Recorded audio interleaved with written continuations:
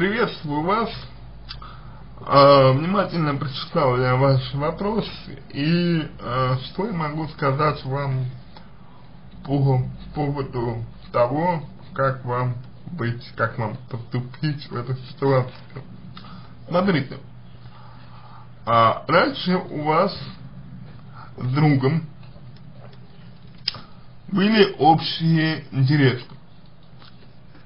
Эти общие интересы, они вас э, связывали, да, они как-то помогали вам э, сохранять общение. А потом, так получилось, так сложилось, сложилось, что у вашего друга появились э, какие-то ну, другие увлечения, скажем так, и он теперь общается с другими людьми. Он теперь обща, общается э, в другой компании. Вам в этой ситуации нужно, э, знаете, решить для себя такой э, важный момент. А момент этот заключается в том, чтобы подумать, а какие раньше, вот ранее, да, интересы вас э, с вашим другом связывали. Что у вас э, было общего с другом ранее? А, что вас объединяло? А, что делало вас, э, ну, скажем так, единым целым? Что давало вашей дружбе, если угодно, э, жизнь? Это очень важный момент, потому что такое ощущение у меня складывается вот э, после прочтения вашего сообщения, что вы немножечко как будто бы э, забыли. А, вы забыли, что у вас общего друг.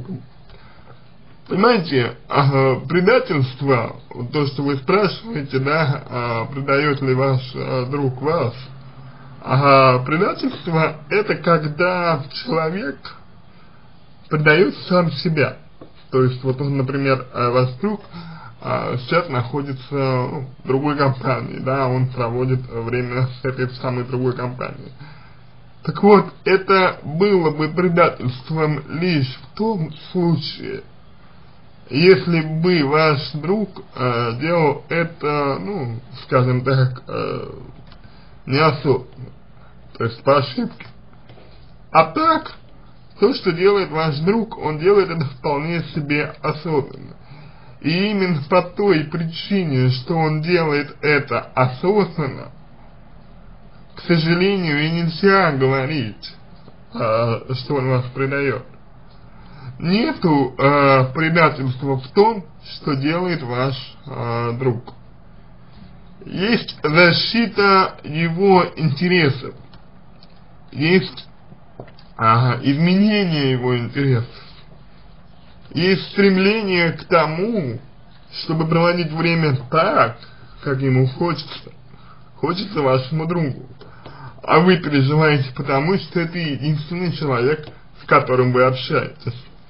И вариантов развития э, ситуации, вариантов э, помощи э, в, вам в этой э, ситуации, на мой взгляд, э, немного. Либо вы э, расширяете кругозор своих интересов, то есть либо вы ищете, условно говоря, других людей, с которыми бы вы могли нормально общаться. То есть я надеюсь, этот момент понятен. А, вы выделяете свои интересы и пытаетесь найти э, людей, подобрать людей, точнее, под эти самые общие э, интересы. То есть вот от того, какие у вас интересы, а, насколько они, эти интересы у вас развиты, и насколько эти интересы будут совпадать а, с аналогичными у других людей, по сути, зависит успешность вашей реализации как социального индивида. А если вы не готовы с другими людьми налаживать отношения, если вы считаете, что не должны этого делать, и что вы хотите именно с вашим другом э, сохранять отношения, тогда вам нужно действовать немножечко по-другому. Еще раз э, хочу вам сказать главное, что у вас есть, э, по крайней мере, вот с другом, э, или есть, или были э, какие-то все-таки, ну, общие э, интересы, какие-то все-таки вот у вас э, были, ну, знаете, э, что-то вас объединяющее. Так вот, э, то, что вас объединяло раньше, нужно просто возродить. Ну, попытаться возродить, скажем э, так. Попытаться возродить нужно. А для чего? Чтобы друг вспомнил, кто вы для него, а, кем вы для него являетесь. Чтобы, чтобы друг вспомнил, что вы для него значите, чтобы друг ваш а, вновь почувствовал, а, условно говоря, важность, а, вот, вашу важность для самого себя. Если вы этого не сделаете, если вы не дадите своему другу понять, что вы а, для него важны, то нет никаких, к сожалению, гарантий, что он а, ну, не станет еще меньше а, с вами общаться. Хотя бы просто потому, что у него нет никакой мотивации к этому. Ну, а зачем? Зачем ему с вами общаться, если ему хорошо и без вас? Вас ничего не связывает.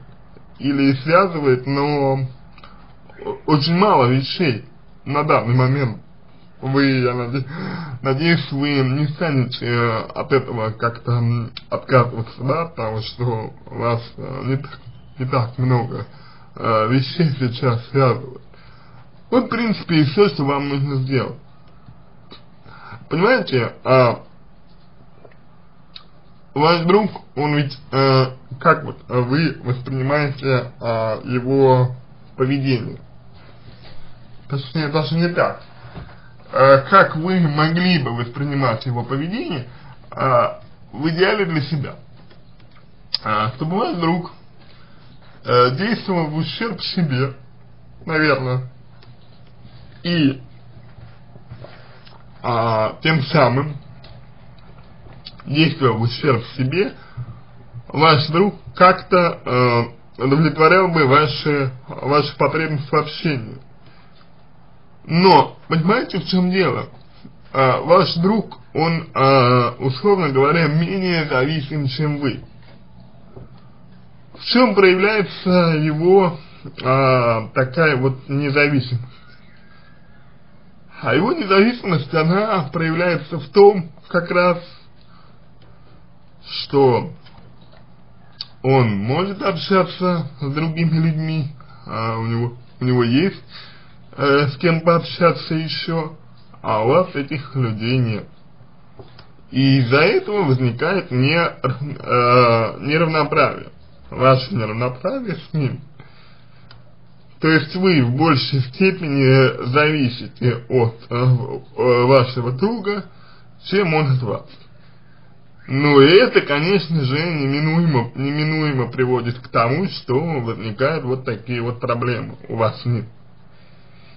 И а, по моему мнению, по моему мнению, конечно же, а, вам нужно в этой ситуации по-любому, вот просто а, по-любому убирать свою зависимость от друга. Потому что пока вы зависимы от него, вы э, менее ценны для него. А пока вы для него менее ценны, он вряд ли будет с вами, вообще говоря, общаться. Ну, по крайней мере, так, как вам бы того хотелось быть. И отсюда несложно догадаться, что вам нужно расширять самостоятельно э, круг ваших интересов. Самостоятельно расширять круг вашего общения. А для начала подумать, почему вы общаетесь, почему вы можете общаться, э, как вы говорите, вот, плотно, э, только с одним человеком, с вашим другом. А что мешает вам э, общаться, ну, так же э, плотно или, может быть, не так плотно э, с другими людьми?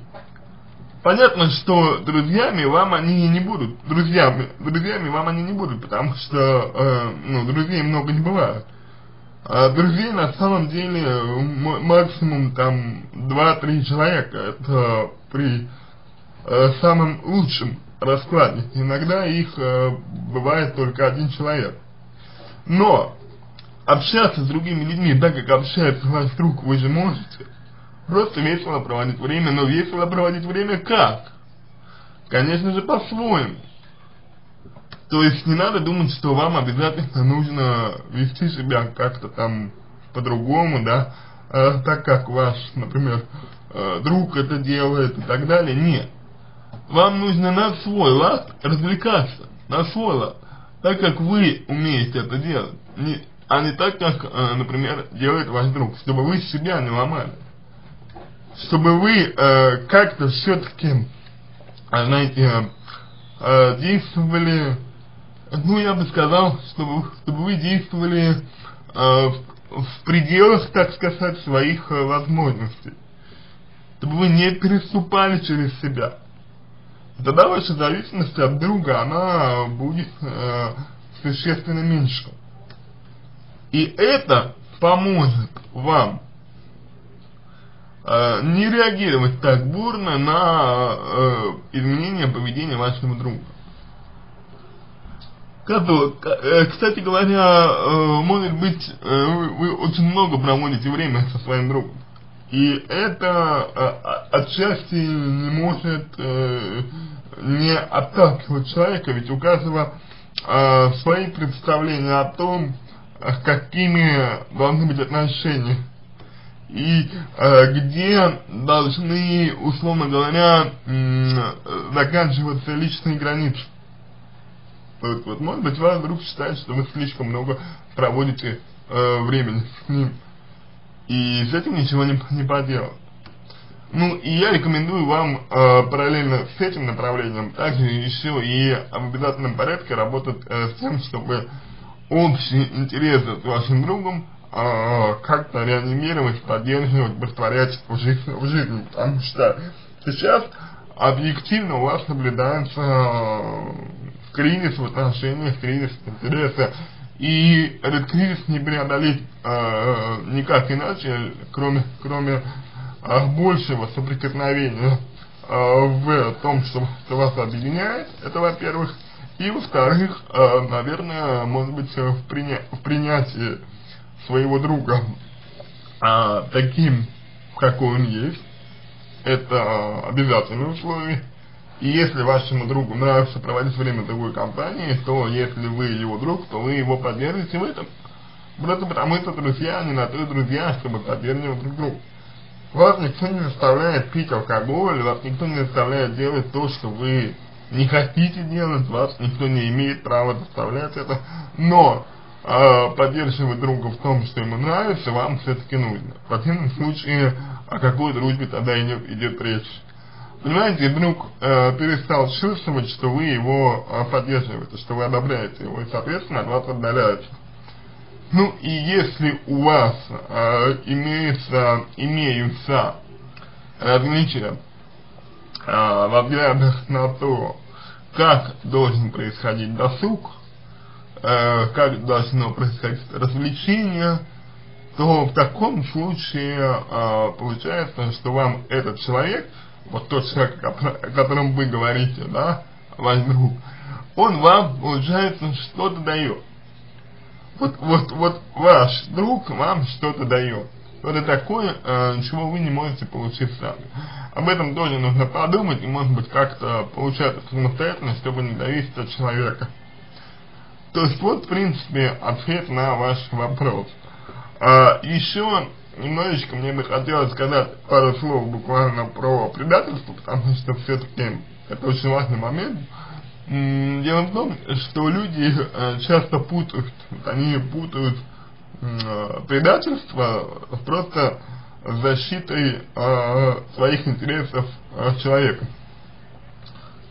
Если я общаюсь с вами, например, делаю то, что вам не нравится, или вам в ущерб, но делаю это осознанно, то есть понимая, что вам от этого плохо, и у меня нет угрызения совести по этому поводу, я не переживаю по этому поводу, то тогда нельзя говорить о том, что я вас предаю. предаю.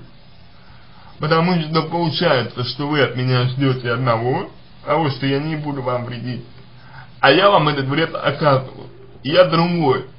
И получается тот образ человека, который у вас есть, отличается от того э, человека реального, который есть на самом деле э, в мире. И получается, что когда вы говорите, что вот такой человек вас предает, вы не говорите о том, что есть реальный человек, который вас предает. Вы говорите о том, что образ человека, который есть только у вас в сознании, предает вас. Получается, что э, не человек вас предает, потому что человек преследует свои интересы, а вы предаете сами себя. А, в принципе, вот это то, что мне хочется сказать. То есть, на предательстве здесь не нужно обращать внимание, простите, э, ваш друг просто-напросто делает то, что ему хочется, то, что ему лучше, это его право, и в этом праве его никто э, не может э, потеснить, в том числе и вы. Э, интересы меняются, люди меняются, вкус э, тоже становятся другими, другими, и люди, которые раньше были э, друзьями, могут ими перестать быть, и важно воспринимать это тоже как достаточно естественный процесс, к сожалению, да, он неприятный, но он естественный. И вам нужно быть готовым к этому, быть готовым к тому, э, что это может случиться, чтобы, э, по сути дела, э, как-то, ну, знаете, чтобы не быть э, брошенным, не быть покинутым, чтобы э, адекватно реагировать на эти моменты, чтобы э, не чувствовать себя каким-то, знаете, на обочине. На этом все. Надеюсь, что помог вам. Если какие-то вопросы остались, обращайтесь в личку, помогу. Если вам, вам понравился мой ответ, буду благодарен, если сделаете его лучшим. Желаю вам всего доброго и удачи.